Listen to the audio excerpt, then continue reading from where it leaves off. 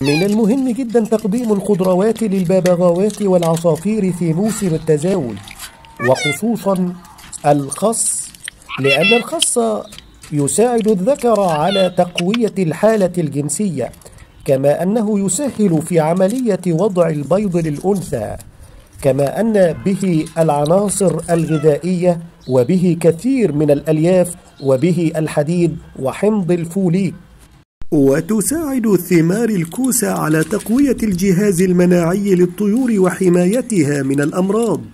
ثمار الكوسة مفيدة للطيور التي تعاني من حالات الإمساك.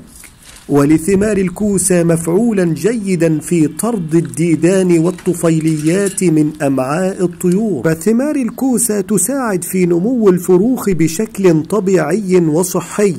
كما أن ثمار الكوسة محفز جيد جدا للتزاوج والتكاثر وإتمام عملية التخصيب بنجاح. أما عن طريقة تقديم الكوسة للعصافير والبابغاوات فيجب غسلها جيدا وتقشيرها حتى نتخلص من جميع المبيدات الزراعية.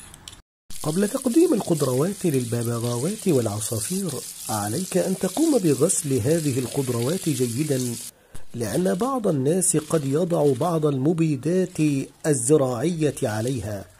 فيؤدي هذا إلى الموت المفاجئ للعصافير. ثم قم بتجفيفها ثم ضعها معلقة للعصافير. إن تعليق الخضروات في القفص يحفز الطيور على الإقبال عليها. لا تنسوا الاشتراك والإعجاب تشجيعا لنا لنستمر بنشر المزيد إن شاء الله تعالى.